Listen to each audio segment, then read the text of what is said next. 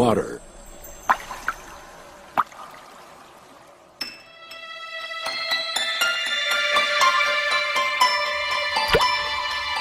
Water, the most common substance on Earth.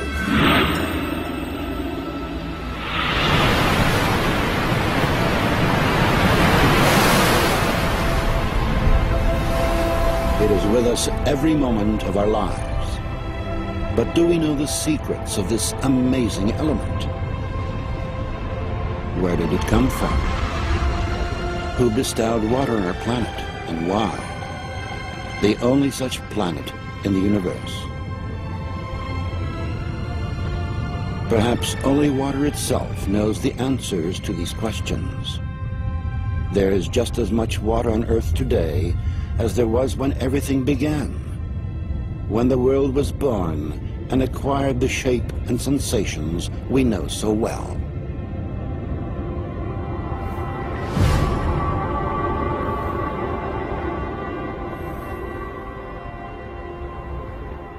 So what we did was what we always do here, do very careful work in a narrow field. So we said, let us focus on water, but we will look at it from many angles. In the Holy Scripture, water is more than simply a physical substance. It's a certain concept, and that concept is connected in a special way with the idea of life.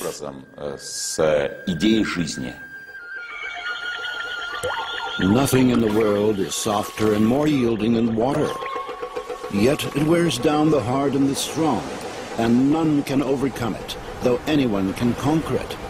That which is yielding conquers the strong, and the soft overcomes that which is hard. Everyone knows this, but no one dares to live by it. The Chinese philosopher Lao Tzu wrote about water two and a half thousand years ago. I mean, water as such has been extensively studied. I mean, it is, it is well known that water has unusual properties, physical-chemical properties, when compared to other liquids. No scientist has been able to explain, for example, why water's density increases below the freezing point and becomes less above freezing. Any substance contracts when it's cooled, but water does the opposite. It expands. People learned to exploit this unique property in the distant past. Inhabitants of the far north would quarry stone by pouring water into cliff face crevices before the frosts came. In the south, people pounded wooden wedges into cracks in the rock and then doused them with water. As they swelled, the wedges would break the stone. Much later, scientists established that water in pores and capillaries is capable of creating enormous levels of pressure. In a seed, for example, it reaches 400 atmospheres at the moment of germination. That's why a plant shoot can break through asphalt with ease. It's such a small molecule as well. Um, it, it, it is very specific that these properties are, are of water. Um, and you won't, you won't find other molecules that have, uh, have all of the similar anomalies. If even a single one of these anomalies were missing, life itself would not exist on the planet. Every one of water's properties is unique, and they do not easily fit into the generally accepted laws of physics. Science has not yet been able to answer the question of why water is the only substance on the planet that can exist in three states, liquid, solid, and gaseous. Why does water have the highest surface tension of all liquids? Why is it the most powerful solvent on Earth? And how, in defiance of the Earth's gravity, is water able to rise through the trunks of gigantic trees against tens of atmospheres of pressure?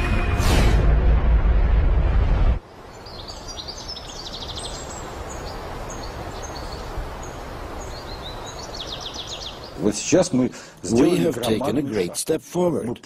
We have really understood that we know almost nothing about water. Therefore, it is a great step because this realization is followed by the desire to find something out. Southeast Asia. The year is 1956. The place is a secret military laboratory for developing and producing weapons of mass destruction. Work has been underway here for several years on a powerful new generation of bacteriological weapons. The scientists are discussing what properties this weapon should have at one of their protracted secret meetings. Suddenly, the session breaks off. All of the participants are taken to the hospital with symptoms of severe food poisoning. An investigation into what happened quickly hits a dead end. The scientists had consumed nothing except water from the carafes on their tables. The water was tested.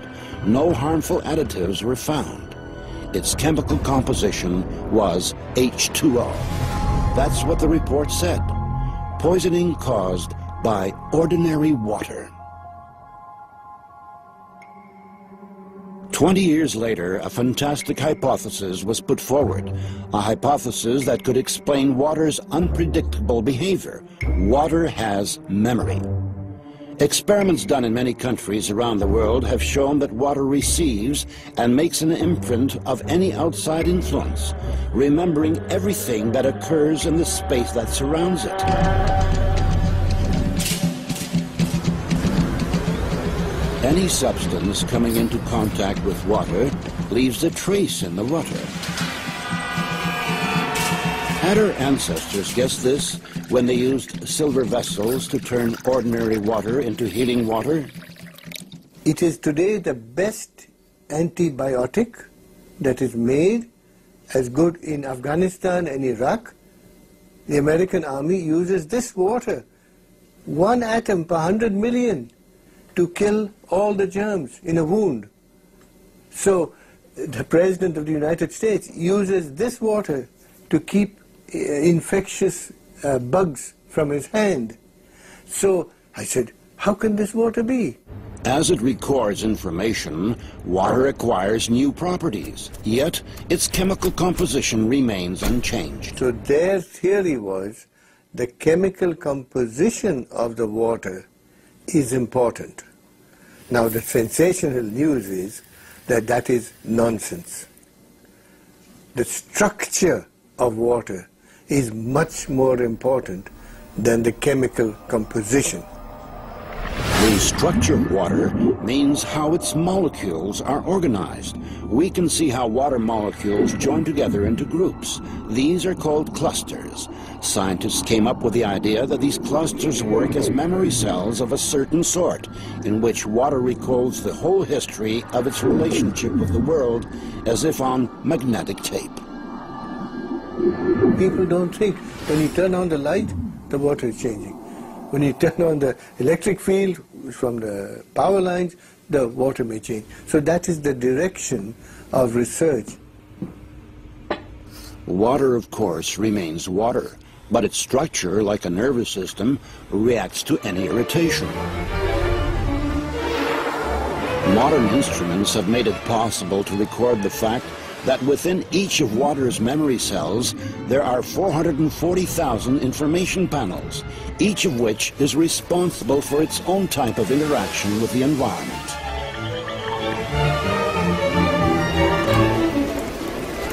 If you consider a cluster as a group of specific molecules, um, then it can survive only a short amount of time.